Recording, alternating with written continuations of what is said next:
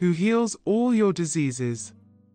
Psalm chapter 103, verse 3. As humbling as this statement is, yet the fact is certain that we are all more or less suffering under the disease of sin. What a comfort to know that we have a great physician who is both able and willing to heal us. Let us think of him a while this evening.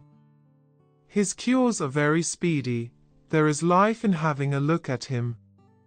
His cures are radical, he strikes at the center of the disease, and hence, his cures are sure and certain.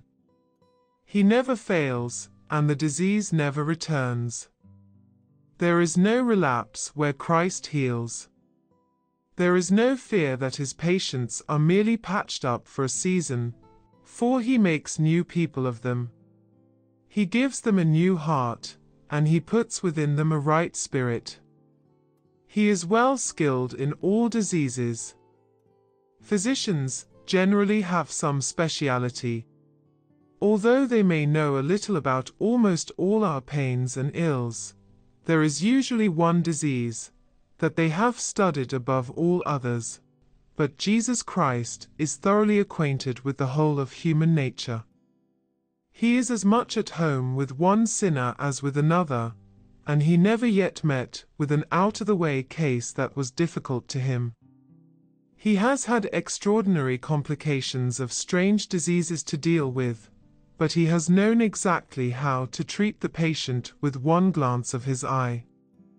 Christ is the only universal doctor, and the medicine he gives is the only true cure all remedy healing in every instance.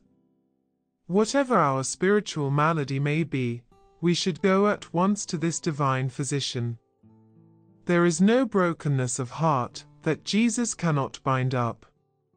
His blood cleanses us from all sin. We only have to think of the countless people who have been delivered from all sorts of diseases through the power and virtue of his touch and we will joyfully put ourselves in his hands. We trust him, and sin dies. We love him, and grace lives.